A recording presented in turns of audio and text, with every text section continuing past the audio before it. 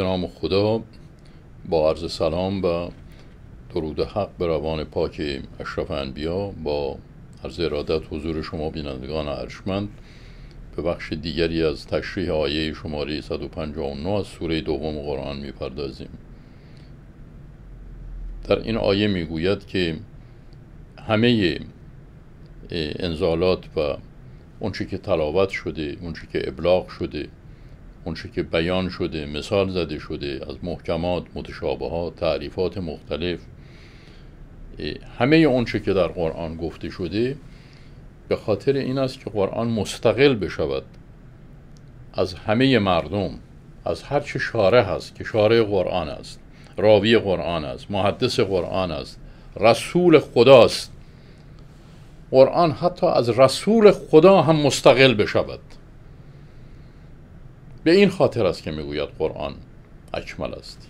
قرآن روی پای خودش می ایستد خودکفاست و قرآن می‌گوید من این کتاب تبیین می کند نه رسول نه محدث نه شارع نه دانشمند نه متخصص نه استاد دانشگاه. بعد ما بیناه للناس فی الکتاب. در این کتاب ناس تبیین و تربیت میشن. از طریق این کتاب تربیت میشن. نه از طریق کسی که از طرف خدا وکیل شده.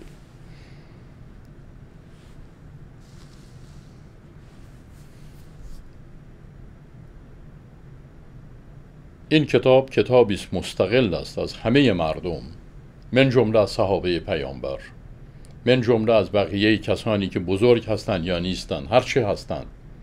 افراد محترم و غیر محترم شاعر یا غیر شاعر. هیچ کس نیست در این دنیا که اجازه داشته باشد از طرف قرآن و از طرف خدا بر دیگران حکم اجرایی داشته باشد.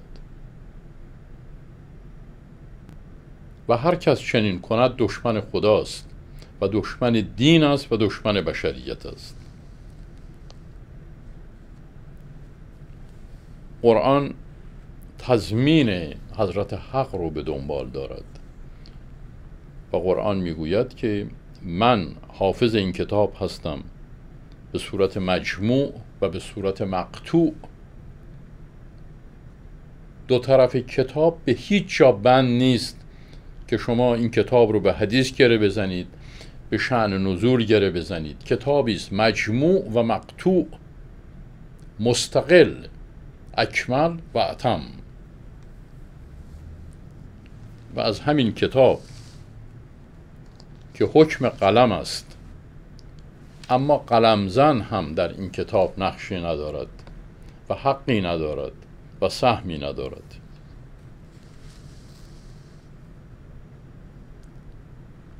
همه هدایت ها از طریق این کتاب است و همه عنایت ها از طریق این کتاب است. هیچ انسانی در هیچ کجا از تاریخ در هیچ مقطعی از تاریخ توان و اجازه این کار رو نداشته است که بتواند از قرآن حکم اجرایی دو بسازد.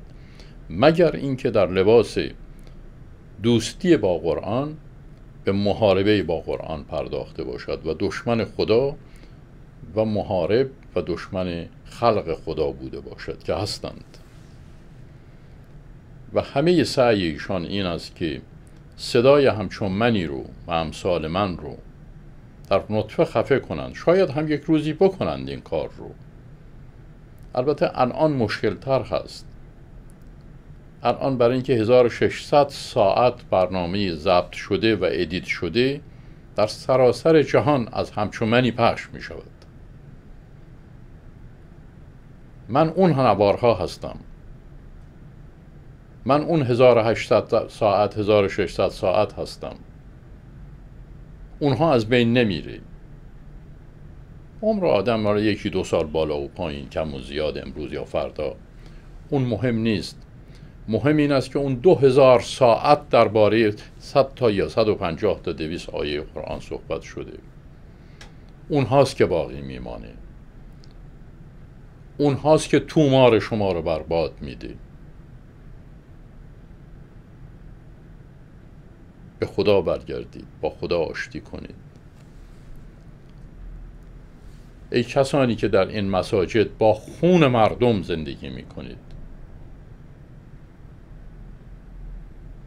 ای کسانی که در مساجد می‌گویید که افغانی هستی تو می‌گویی که نباید به یتیم های افغانی کمک کرد. برای اینکه ما به اندازه کافی در آلمان مستحق داریم. اگر شما می‌خواهید به کسی کمک کنید به مسجد کمک کنید. ما مستحقین افغانی رو در آلمان شناسایی کردیم به اونها کمک می‌کنیم. به این یتیم هایی که در افغان هستند در افغانستان هستند کمک نکنید. به خاطر اینکه تا پول شما به اونجا برسد بقیه افراد پول اینها رو میدزدند. پس پولتان را به من بدهید. به منی که امام شنبه هستم یا امام یک شنبه هستم. بالاخره امام هستم پولتون رو به من بدهید.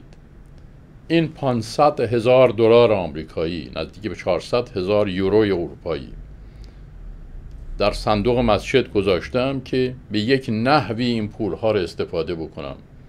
و وقتی به من می‌گویند این پول ها رو صرف حفر چاه در افغانستان بکن می‌گوید اگر یک ماه یا یک روز این مردم کمک هاشون رو قطع کردن من باید یک پشت دستی داشته باشم که خیالم راحت باشه که از این پول بتوانم مخارج مسجد رو بدهم.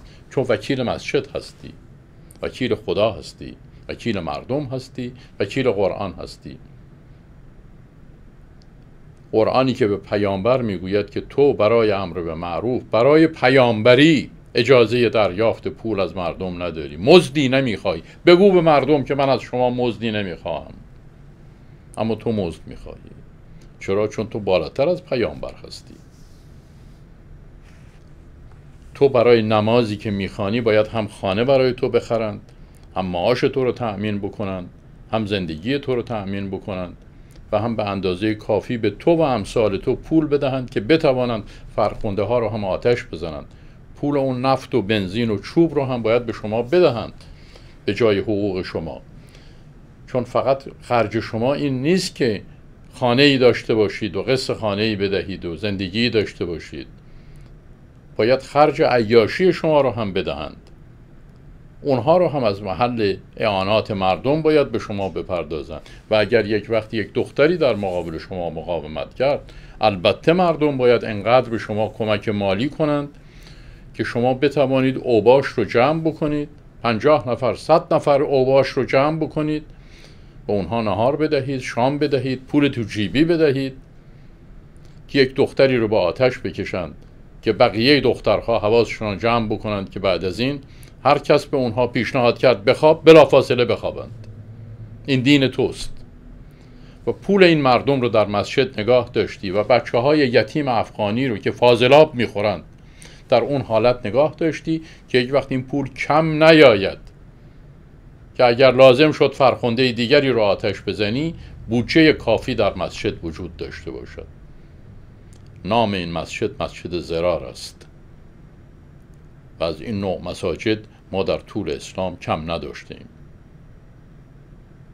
و پیامبر ما حکم به تخریب و انهدام و نابودی کامل اینها رو داده در طول تاریخ.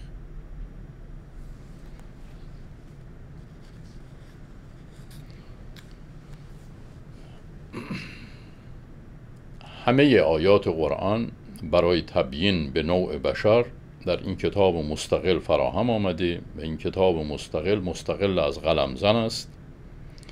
دارای قدرت تام و تمام در هدایت همه خلق و همه مخلوق به سوی خداست. به نحوی که هیچ مانعی در این راه وجود نمی‌تواند داشته باشد.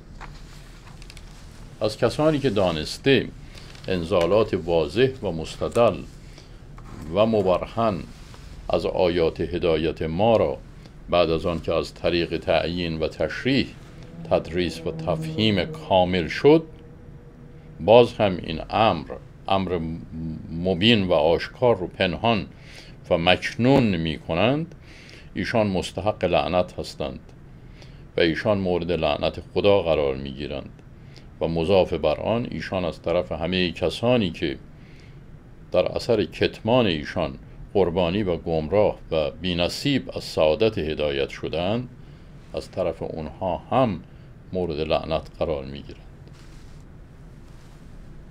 لعنت در زبان عربی به مفهوم اخراج و دور کردن محروم ساختن بی بهره کردن عدم پذیرش و محروم از رحمت و عنایت هدایت است. وقتی می‌گوید اینها را لعنت می کند یعنی اینها هدایت نمی شوند از هدایت دور می شوند از خدا دور می شوند از رحمت هدایت دور می شوند همان گونه که شکر به معنای قدردانی و اجر اطاعت از سوی خدا به طرف شاکر است لعنت به معنای اخراج و محروم کردن و بی بهره کردن شخص شخصی که لعنت می شود شخص لعنتی از برخورداری و در واقع لعنت یعنی رفع استحقاق برای رسیدن به عنایت حضرت حق. انسان در طول حیات پیوسته بین دو قطب شیطان و رحمان در حال تعلیق و در حال نوسان به سر می‌برد. هیچ انسانی نمی‌تواند از یکی از این دو قطب دور شود بدون آنکه به قطب دیگر نزدیک شده باشد. به بیان دیگر جمع فاصله انسان با دو قطب معادل فاصله دو قطب با یکدیگر است. دو محور با یکدیگر است. قطب به معنای محور و محوری است.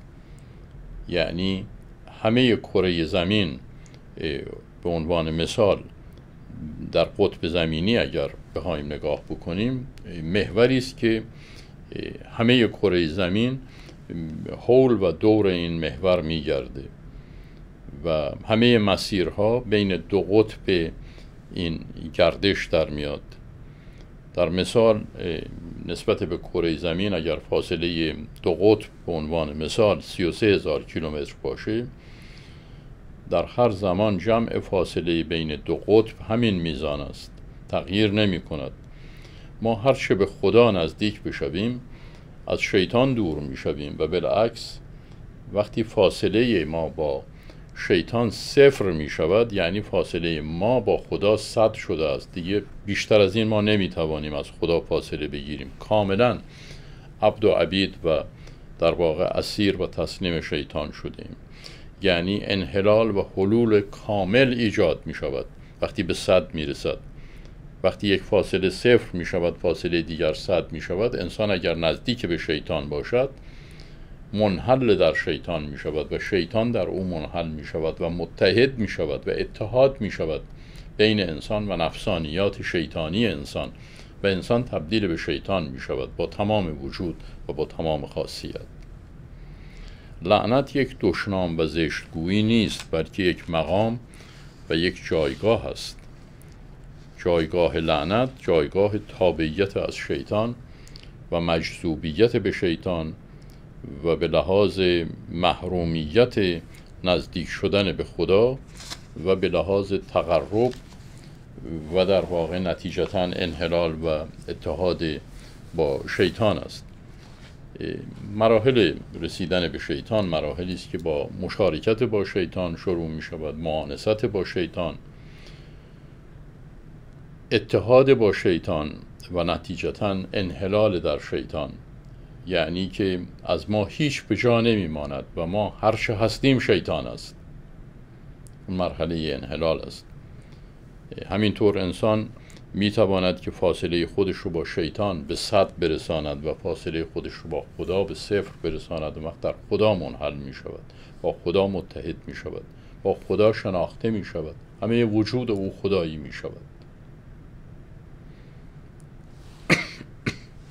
هرچه انسان بیشتر از خدا دور می شود بیشتر از به شیطان نزدیک می شود و هر نزدیکی موجب افزایش جاذبیت می شود شما اگر که یک آهن روبایی رو در اینجا نگه دارید و یک براده آهنی رو در اینجا نگه بدارید این آهن براده آهن رو اگر رها کنید روی زمین میفته اما اگر این براده آهن رو نزدیک این آهن روبا بیارید و رها کنید روی زمین نمیفته جذب این آهن روبا جذب این مگنت میشه. هر چقدر که آدم به شیطان نزدیکتر میشه مجذوبیت انسان به جاذبه شیطان بیشتر میشه. شیطان زودتر و راحتتر انسان رو که معلق شده جذب می‌کنه. همینطور در مورد خدا اگر که انسان نزدیک باشه به خدا اگر یکی دو لحظه در زندگی تردید بکنه یا بخواد معلق بشود خدا او رو جذب می‌کنه و در پناه خودش می‌گیره. اگر ما خودمون رو در فاصله مناسب قرار بدیم با هر کدام از این دو مجذوب اونها خواهیم شد و به اونها خواهیم پیوست و هم جنس اونها خواهیم شد. یا هم جنس خدا می‌شویم یا هم جنس شیطان. کتمان بینات بعد از تبیین موجب لعنت می شود یعنی انسان از خدا منفور و به سوی شیطان مجذوب می شود به بیان دیگر انسان محب و دوستدار شیطان می شود و انسانی که محب و دوستدار شیطان است تابع شیطان می شود شیعه شیطان می شود سنی سنت شیطان می شود که تکبر و سرپیشی و اسیان و تقیان در تعامل و در تقابل با فرمان خدا و ارتکاب فسق و شکست عهد در میثاق با حضرت حق نمونه وصلت با شیطان است. اینهایی که با شیطان وصلت می‌کنند و با شیطان نزدیک میشن کسانی هستند که هم میثاق با خدا رو زیر پا می‌گذارند مرتکب فسق می‌شوند به تعهدات خودشون عمل نمی کنند دروغ می‌گویند پا روی حقیقت می‌گذارند. اینها کسانی هستند که به منطقه آهنربای شیطان نزدیک شدند و از هر طرف که حرکت بکنند مثل براده های سبک آهن آهنربای شیطان اونها رو جذب می‌کنه و میبلعه و جزء خودش می‌کنه. و اینها جزء اون شیطانی می‌شوند که پیکره اون شیطان نماینده نفسانیات انسانهایی است که تابع نفس اماره خودشون هستند. همونطور که بارها در این برنامه و برنامه های دیگر گفته شده شیطان فاقد انسجام و فاقد قالب مستقل است. یعنی شیطان جسم ندارد که شما بگردید پیدا بکنید مثل جن مثل چیزهای دیگری که گفتند به ما در حمام های قدیمی بگردید و جنهای مسلمان و جنهای کافر رو پیدا بکنید. یا شیطان های نر یا شیطان های ماده رو پیدا بکنید. شیطان بزرگ و شیطان کوچک پیدا بکنید. شیطان نر و ماده نداره چون شیطان عمر ابدی داره تا دنیا دنیاست و تا انسانی انسانه و تا ما هستیم شیطان هم هست. شیطان نفس ماست. تا وقتی که ما دارای نفس هستیم دارای شیطان هم هستیم. هر وقتی که انسان منقرض بشود نسل انسان منقرض بشود و هیچ انسانی روی کره زمین نباشد اون وقت شیطانی هم روی کره زمین نخواهد تا آخرین انسانی که روی کره زمین هست شیطان در اونجا حاضره. و شیطان همه چیز دارد غیر از قالب. قالب جسمانی ندارد شیطان اما وجود دارد. همونطور که ما بعد از اینکه قالب جسمانیمون فرو ریخت باز هم هنوز زندگی و حیات و هستی ما ادامه داره. حقیقت انسانی ما جایی نمیره. جسم انسانی ما به خاک باز میگرده حقیقت وجودی انسانی ما دائمی است به خدا برمیگرده. شیطان هم لباس و اندام و جسم نداره. شیطان برای ادامه حیات حقیقت وجود شیطان برای ادامه حیات در قالب نوع بشر زندگی می‌کنه. انسان می‌تواند که خاندار دو موضع در جهان باشد. یا خاندار خدا باشد در قلب خودش خدا را دعوت بکند و خدا در قلب او جلوس کند. و یا با اقدامات ارادی خدا را از قلبش اخراج کند و دور کند. اینکه خدا می‌گوید من لعنت می‌کنم خدا ثابت است.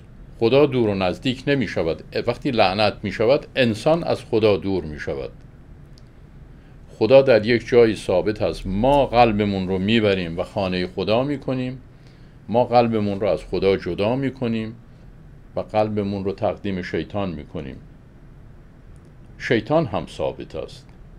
شیطان به قلب ما نمی آید ما شیطان رو به قلبمان میاریم ما قلبمون رو خانه شیطان می‌کنیم. بی جهت شیطان رو لعنت نکنید. خدا لعنت کرده شما لعنت نکنید. به شما اجازه لعنت نداده.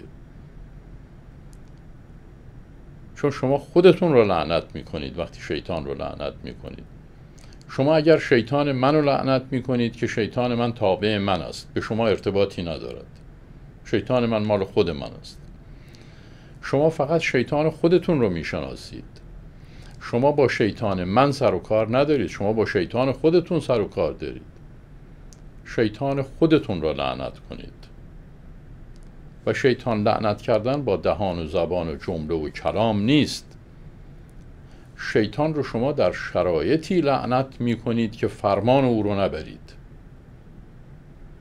وقتی که شیطان به شما می‌گوید که خب آقای آقاسی شما که الان تسلیم من هستید میگم بله قربان دست های من بالاست من تسلیم شما هستم. من شیطان پرستم من خدا پرست نیستم. خب آقای آقاسی شما که این نفس سرکش اماره رو داری که من هستم در وجود تو من با تو حرف می‌زنم. شیطان با زبان ما حرف می‌زنه با گوش ما میشنوه با چشم ما می‌بینه با بینی ما بو می‌کشه با تن ما حس لامسه داره. همه این احتیاجاتش رو با ما تأمین می‌کنه. شیطان بر گرده ما سواره. شیطان از این جسم به عنوان اسب و به عنوان حمال استفاده می‌کنه. شیطان احتیاجی به جسم نداره. بی خود این طرف اون طرف دنبال شیطان نگردید. به خودتون نگاه کنید. شیطان همونجاست. اون وقت این شیطان وقتی با آدم صحبت می‌کنه.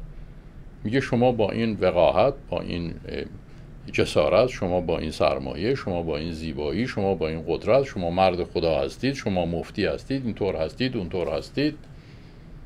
شما حتما باید هفته یک مرتبه از این دختران جوان یکی دوتاشون رو بیارید و به شما تقویت روحی بدن. حق شماست.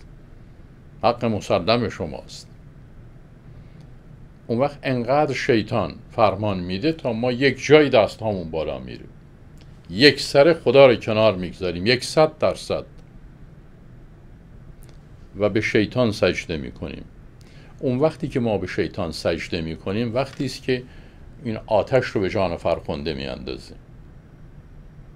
اون وقت ما داریم نماز شیطان می‌خوانیم. اون وقت ما داریم سجده به شیطان می‌کنیم. ولی نمی‌فهمیم.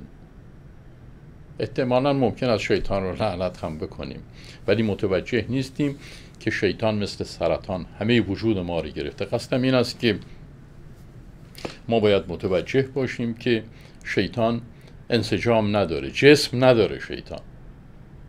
جسمش رو از ما می‌گیره. جن هم همینطور است. جن هم جسم نداره. او هم جسمش رو از ما می‌گیره. فرشته هم جسم نداره. فرشته ها قدرت هایی هستند که به وسیله جسم ما اون قدرت ها نشان داده میشه. یعنی وقتی که ما لیاقت پیدا می‌کنیم که همنشین فرشتگان باشیم قدرت خدا عظمت خدا در قانون خدا که در اصطلاح قرآنی فرشته نامیده می شود این قانون که قدرت رو با خودش جابجا می‌کنه قدر رو با خودش جابجا می‌کنه این قدرها رو به ما میده. این قدرت ها رو به ما میده. این ثروت های معنوی رو به ما میده. و همه اینها به وسیله فرشتگان یا به وسیله نیروهای قدرت الهی که قانون خدا هستند انجام می شود اما فرشته ها هم تن ندارند اندام ندارند.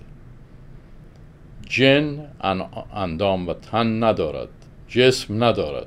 همینطور شیطان که یکی از فرشته هاست و یکی از جن هاست. هر دو. اینا همه هم جنسن اینا همه به نیروهایی هست اشاره می کند که هیچ کدام این نیروها جسمانیت ندارد. یعنی شما یک جسمی پیدا نمی کنید در یک جایی بگن این خانم یا آقای شیطانه. زمینان عرض کردم که شیطان جنسیت هم ندارد چون جنسیت مالی کسی است که میراست مثل انسان. انسان برای اینکه از میرایی نجات پیدا بکند تشکیل جنسیت داده مرد و زن پیدا شده که اینها بتوانند که تکثیر و تناسل کنند. شیطان احتیاجی به تکثیر و تناسل نداره چون جسم نداره. و شیطان سیاله. شیطان همه جا سفر می‌کنه.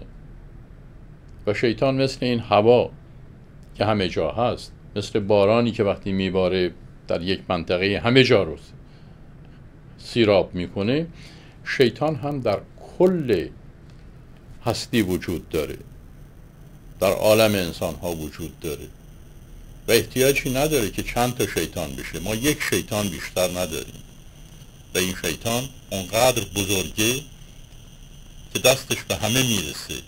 و در درون نفسانیات همه ما وجود داره. مقصودی که تأکید می‌کنم بر این موضوع که ما هیچ شاهد قرآنی هم نداریم. جز در متشابهات قرآن که شیطان دارای جسمیت باشه و دارای انسجام باشه. انسجام شیطان در انسجام انسان متبلور میشه. طور کلی جن و فرشته و شیطان و اینها نیروهایی هستند که تنها در قالبهای استیجاری و آریتی دارای حیات و موجودیت می شود شیطان عبارت از مظروفی است که تأثیر و تجسم آن تنها در شرایط انسجام او در قالب یک انسان مختار و ارادی میسر و ممکن است. شیطان تا وقتی که در وجود انسان خانه نکنه و تا وقتی که یک مرید و شنوایی نداشته باشه هیچ کنه قدرتی نداره. یکی از خطرهای بسیار شدیدی که شیطان برای انسان داره قدرت سرایت صفات شیطانی است که کمتر افراد به اون توجه دارند و من کمتر دیدم که در این مورد سخن گفته بشود شیطان نه تنها انسان رو اشغال می کند و انسان رو به بردگی خودش در می آورد بلکه انسان رو مرید خودش می کند تفاوت اینها این است که وقتی که ما مرید شیطان می شویم یعنی اراده خودمون رو به شیطان میدیم. شیطان به جای ما دارای اراده میشه دارای تصمیم گیری میشه. قدرت فرماندهی اینجا مغز رو و اینجا صدر رو قلب رو به شیطان می سپاریم و خود ما بی اراده می شویم شیطان دارای اراده می شود اشکال بزرگی که در این کار هست این نیست که فقط ما رو فریب میده. نه فقط بر ما حاکمیت می‌کنه. از ما شیطان می‌سازه. توجه کنید که چه عرض می‌کنم. شیطان اینطور نیست که فقط ما رو به بردگی و بندگی خودش دعوت کنه و ما رو در اسارت خودش نگاه بداره. که ما هرچه شیطان گفت فرمان داد ما فرمان رو انجام بدهیم. کار به اینجا تمام نمی شود از ما می خواهد که فرمانده دیگران باشیم.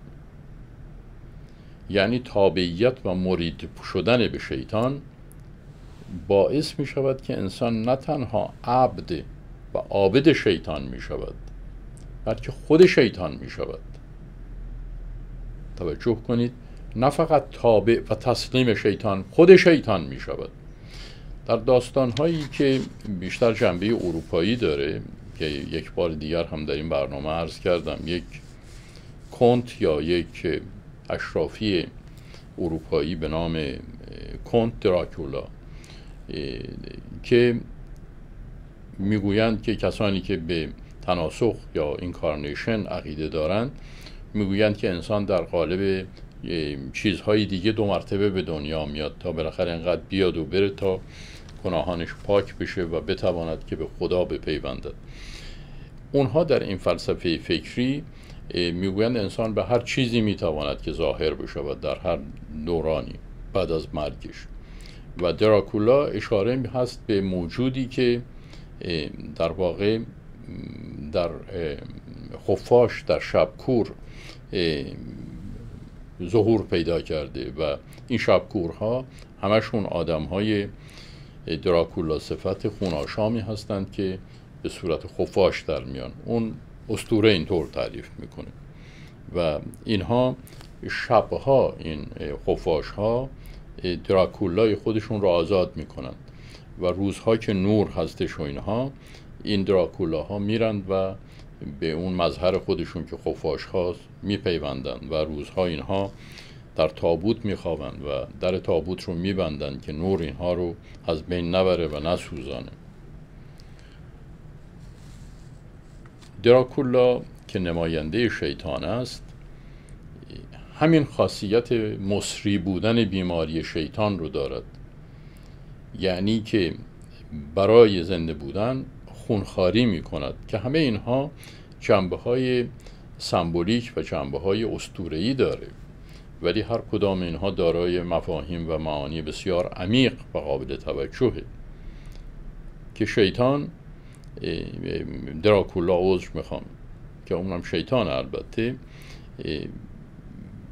از طریق آشامیدن خون قربانیان خودش زندگی می‌کنه. یعنی که او هم اندام نداره. و برای اینکه تولید خون بکنه که حیات داشته باشه باید از خون یک حیاتمند استفاده بکنه تا دوام حیات بده. به بیان دیگه در همین مثال ها و اسطوره ها این موضوع تأکید میشه که شیطان نمی‌تواند که تولید خون بکند که خون مظهر حیات است دیگه. انسان وقتی خون داشته باشه زنده است وقتی خون نداشته باشه مرده است. و آدم معمولی خوراک می‌خوره غذا می‌خوره اینها هضم میشن متحول میشن متغیر میشن تبدیل به خون میشه. شیطان دارای اندام نیست و نمی‌تواند چیزی بخورد و چیزی رو هضم کند و در واقع مواد خوراکی رو تبدیل به خون کند. اما چون موجود است از خون استفاده می کند نه از خوراکی که تبدیل به خون بشود. و در این مثال های ظریف و آموزنده یک خاصیت تسری بیماری شیطان رو هم بیان می کنند که این شیطان وقتی که تأمین خون می کند که معمولا در داستانهای قدیم با توجه و اشاره به داستانهای قبلی خودشون که داستانهای مایای آین آمریکای جنوبی و آمریکای مرکزی بوده خوراک این خفاش یا خوراک این شیطان خون دختر باکره است و این تنها خونی است که دراکولا رو زنده نگه میداره البته دراکولا وقتی وارد سینما میشه هر جور خونی رو می‌خوره ولی منظور داستان اصلی دراکولا رو بازگو می‌کنم. این اون خون باکره رو که مصرف می‌کنه به زندگی و حیاتش ادامه میده. اما دو اتفاق میفته هم اون کسی که این خون او رو می‌خوره تسلیم این میشه. و هم این که خود او یک شیطان میشه. یعنی این وسیله تناسل شیطانه. یعنی تکثیر شیطان در اون داستان البته عرض می‌کنم که دراکولا اصلا اینطوری به وجود میاد. یعنی دراکولا وصلت تناسلی با کسی نمی‌کنه که یک بچه دراکولا به دنیا بیاد. طریقه تکثیر و تناسل شیطان مثل دراکولا خوردن خون یک دختر است که از اون طریق این دختر بعد از یک مدتی دو سه بار که خون او رو خورد خود او تبدیل به یک دراکولای کوچک میشه تا کم کم بزرگ بشه. یعنی خود او میره خون دیگران رو می‌خوره. درست مثل همین سلسله ای که نمایندگان دین تشکیل میدن که اینها تشکیل یک کالت میدن تشکیل یک جمعیت میدن تشکیل یک قوم و طایفه میدن که اینها حقوق مشترک دارند و همه اینها محارب با خدا هستند و با قرآن و با خدا می جنگند. و اینها شیوه خونخاری رو هم از یکدیگر بهره می‌گیرند و هم یکدیگر رو به خونخاری تربیت می‌کنند هم دعوت به خونخاری می‌کنند هم تربیت به خونخاری می‌کنند درست مثل دراکولا که وقتی خون یک دختر باکره رو می‌خورد هم خود او سیراب می‌شود آرام می شود می رود استراحت می کند در تابوت روز. و هم اون دختری که خون او خورده شده تغییر حالت می دهد و حالت خفاش می گیرد و می شود عین نسخه بدل دراکولا. و خود او می رود و دیگری رو گاز می گیرد و با گزش او و خوردن خون گردن او دیگری رو هم دراکولا می کند و تقریبا لشکری از این خونخوارها به وجود می آید که هر کدامشان قربانی دیگری است و قربانی دیگری خود قربانی ساز دیگری است. یعنی هر معلولی خودش علت یک معلول دیگر می شود و این رابطه علی خونخاری رو در جامعه توسعه میده و کسرت میده. همینطوری که امروز شما می‌بینید که چندین صد هزار نفر از این دراکولاها به نام نمایندگان قرآن محاربین واقعی لشکر مبارزه و جنگ با خدا هستند اینها. و کسی هم جرأت نمی‌کنه که در مقابل اینها مقاومت بکنه. اینها به جایی رسیدند که دولت استخدام می‌کنند. دولت استخدام می‌کنند. بعضی ها این اشتباه رو می‌کنند که اینها قدرت های دولتی دارند. یا اینها کم کم در دولت ها نفوذ می‌کنند. خواب طولانی کرده اید. هزیان می‌گویید. در دولت ها نفوذ می‌کنند. دولت می‌سازند. دولت ها کارگران اینها هستند. دولت ها عمله های ظلمه اینها هستند. حقوق بگیر اینها هستند.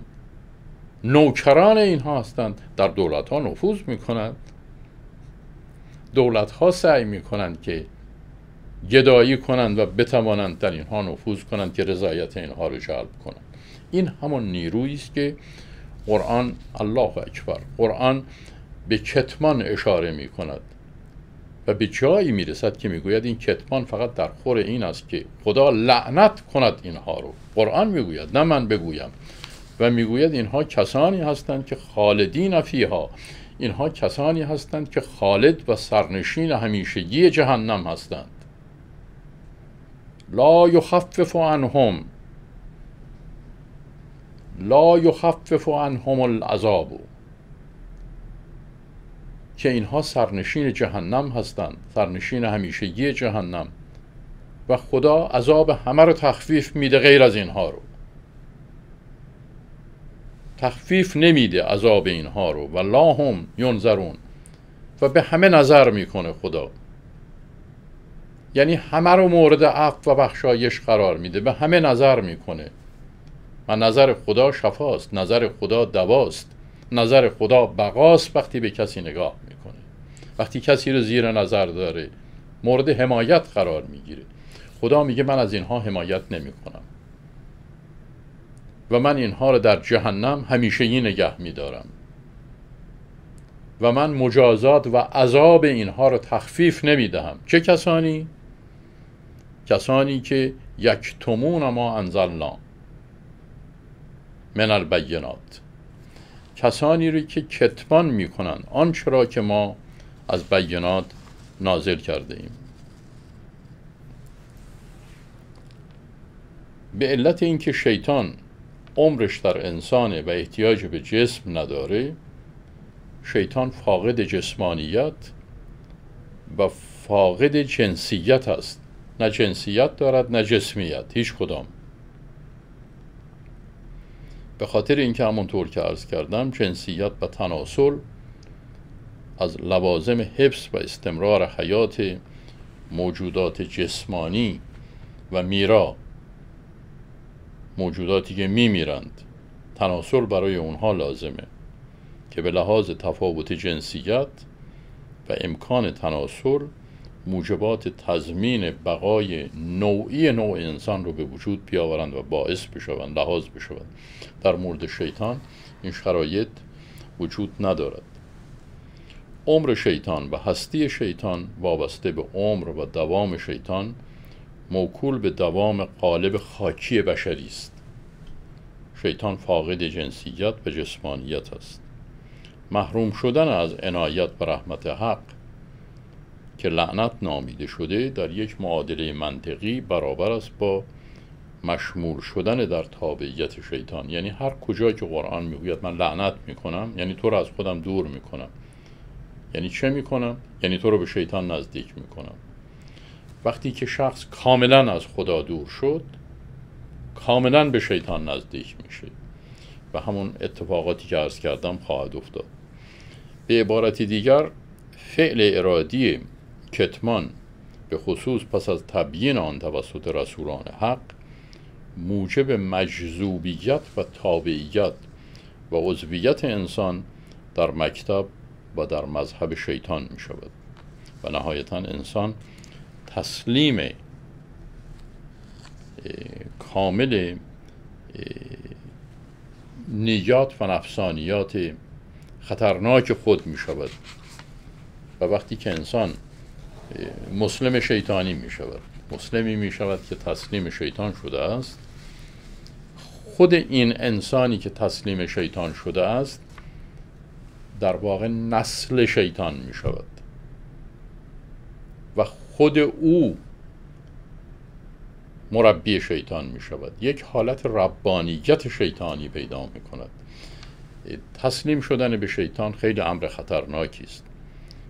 انسان وقتی که پذیرای شیطان می شود متحد با شیطان می شود و نتیجتا در پایان کار انسان تسلیم شیطان می شود این تسلیم شیطان شدن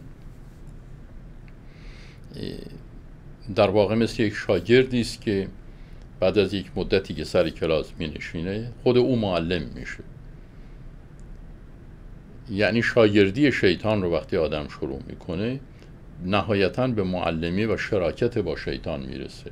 خود او هم تبدیل به یک شیطان دیگه میشه. این رو توجه بکنید. زیاد در مورد این آیه صحبت کردیم و هم خودم و هم شما رو خسته کردم. ولی هزار سالم که در این مورد صحبت بکنیم باز کم صحبت کردیم. همه کسانی که نعمت و حمایت خود را از انسان بر می دارند چون در این آیه می گوید که نه تنها مورد لعنت الله قرار می گیرند و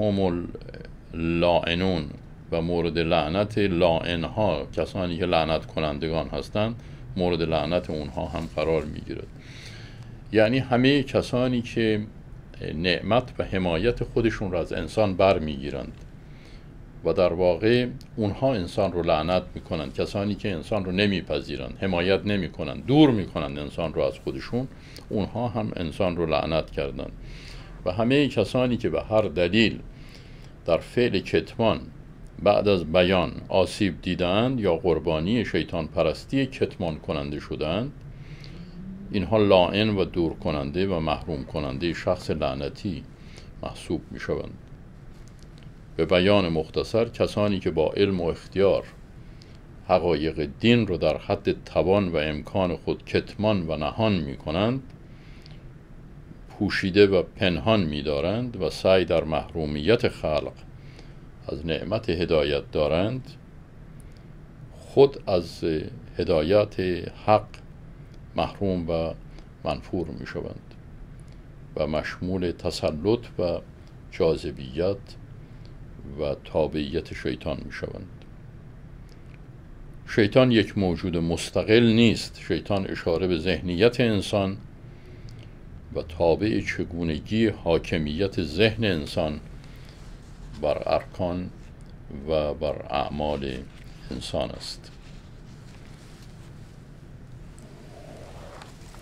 من همیشه فکر می‌کنم که هر آیه ای رو که تمام می‌کنیم و باور کنید که سعی من این است که آیه هایی رو که مطرح می‌کنیم در نهایت اختصار باشه و خود من بیش از همه خسته می‌شوم در طول کلام و در گفتارهای تکراری و مضاعف.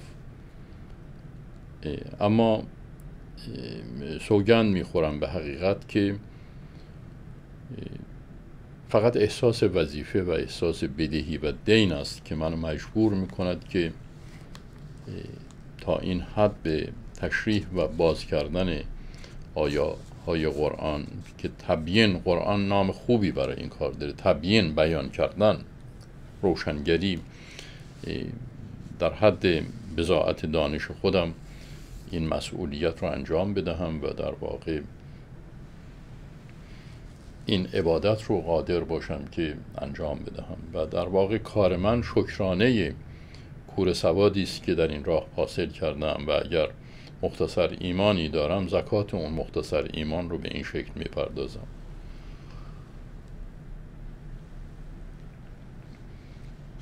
شما هم اگر می توانید که همین حرکت رو در همین سطح انجام بدهید خوش آمدید. و اگر که فکر می‌کنید که ما بهتر می‌توانیم این کار رو انجام بدهیم.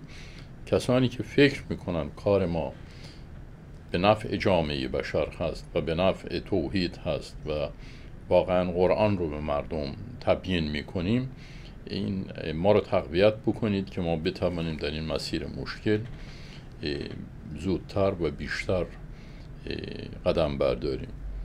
و این تتمه عمری رو که باقی مانده بتوانیم که در خدمت قرآن مصرف کنیم.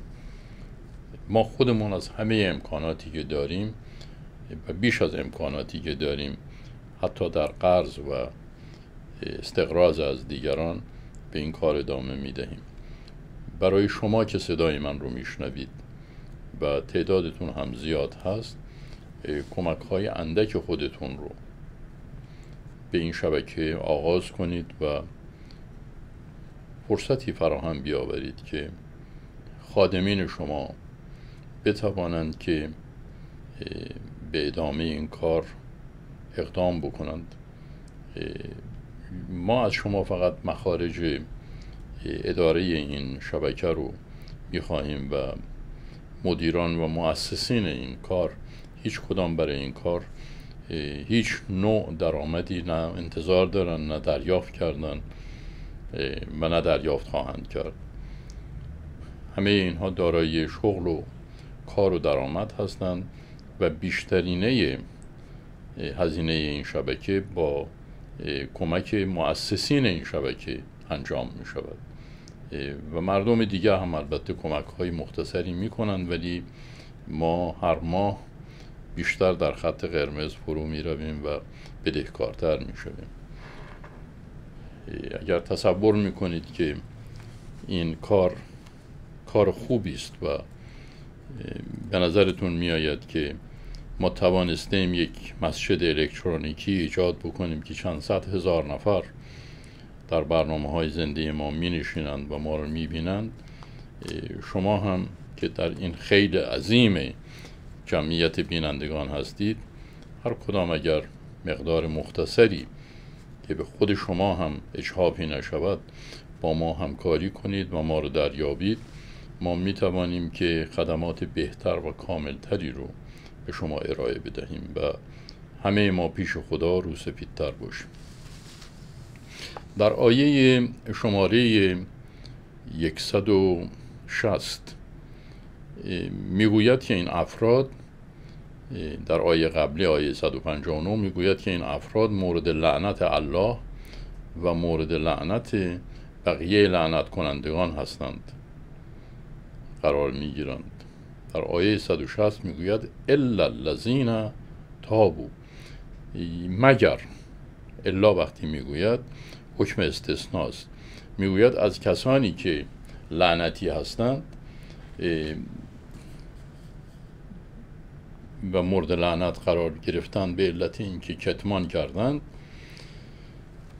یک گروهی رو قرآن مستثنا می‌کنه. می‌گوید که اینا از لعنت خارج میشن اینا دیگه ملعون نیستند.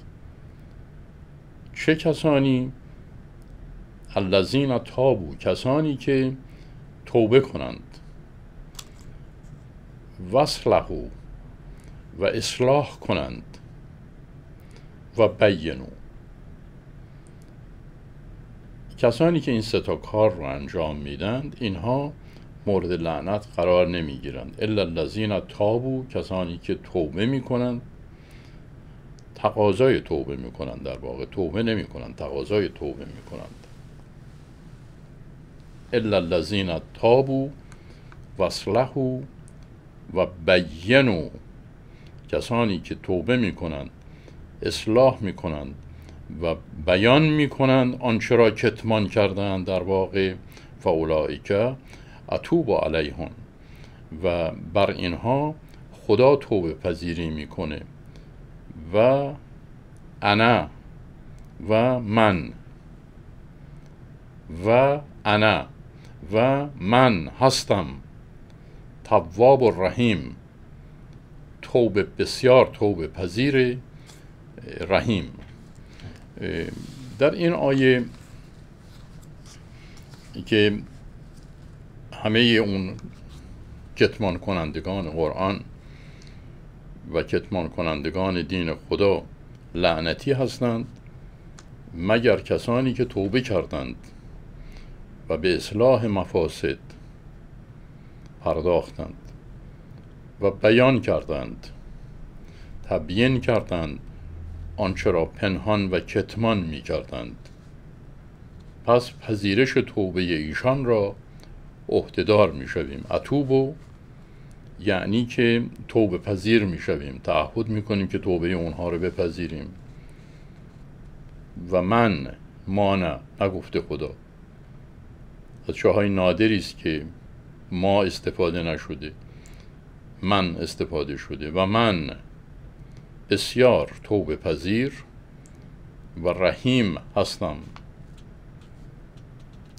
در این آیه واژگانی چون توبه اصلاح بیان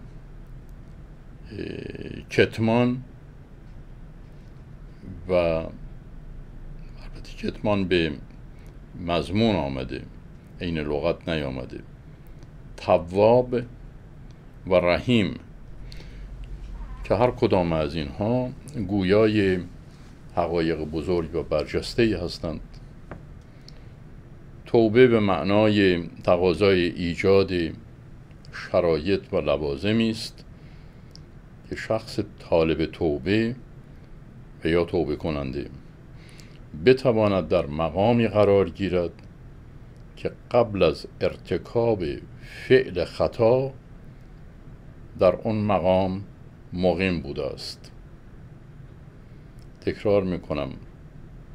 توبه به معنای تقاضای ایجاد شرایط و لوازمی است که شخصی که طالب توبه هست کسی که توبه کننده است این شخص بتواند به وسیله کاربرد اون شرایط و لوازم در مقامی قرار گیرد که قبل از ارتکاب جرم یا خطا در اون مقام قرار داشته. توبه عبارت هست از تقاضای ایجاد شرایطی لوازمی اسبابی که انسان بتواند با استفاده از اون شرایط و ابزار و لوازم انسانی که توبه گر است البته توبه کننده طالب توبه بتواند که با استفاده از این ابزار و لوازمی که تقاضای اونها رو کرده در مقامی قرار بگیره که این مقام مقامی باشه که قبل از این که مرتکب جرم یا جنایت یا خطا شده. توبه در بازار به غلط معنی میشه. الهی توبه کردم یعنی الهی دیگه از این کارها نمی کنم یعنی معذرت می‌خواهم. توبه معذرت خواهی نیست. توبه یک واژه حقوقی است و یک شرایطی رو با خودش حمل می‌کنه.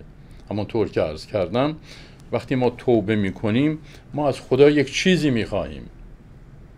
ما از خدا راهی می‌خواهیم وسیله ای طلب می‌کنیم. که با استفاده از اون ابزار و از اون اسباب بتوانیم که خودمون رو در ذهن و در جایگاه خودمون نزد خدا ببریم به جایی که هنوز مرتکب اون گناهی که از اون گناه توبه می‌کنیم نشده ایم مثلا وقتی آدم دزدی می‌کنه و توبه می‌کنه. توبه که می‌کنه میگه خدایا منو ببخش یعنی چه بکن خدایا؟ یعنی منو بگذار در جایی که هنوز مرتکب دزدی نشدم. منو به اونجا برگردون. توبه یعنی برگشت. اصلا معنی بخشیدن و بخشایش اینها نمیده. ممکنه اون تعبیر این واژه باشه. ولی در معنی کردن یک واژه تنها چیزی که توبه معنی نمیده همون بخشش و بخشایش و اینهاست. توبه یعنی برگرداندن و برگشتن دور زدن. یک جایی رو آمدن از اونجا برگشتن. یک چیز کرده شده ای رو ناکرده کردن. در واقع در اصطلاح و در تشبیه زمان رو به عقب بردن. و اگر یک دایره ای رو ما یک دور زدیم دور وارونه زدن. به جایی برگشتن و منظور به جایی میگد خدا ما رو برگردان که در اونجا هنوز مرتکب این زشتی و گناه نشدم. منو برگردان. به محل اسمت. به جایی که هنوز گناه نکرده بودم. بنابراین توبه تقاضای برگشته که ما به خدا تقدیم می‌کنیم. اما اون چیزی که باعث بخشش می شود اسم دیگری دارد. و خود توبه هم شرایطی دارد که در این آیه به تشریح اون پرداخته بعد از دقایق کوتاهی که باز میگردیم و ادامه این گفتگو رو با شما خواهیم داد. تا اون زمان شما رو به خدای بزرگ می سپارم شاد باشید باز میگردیم با شما خواهیم.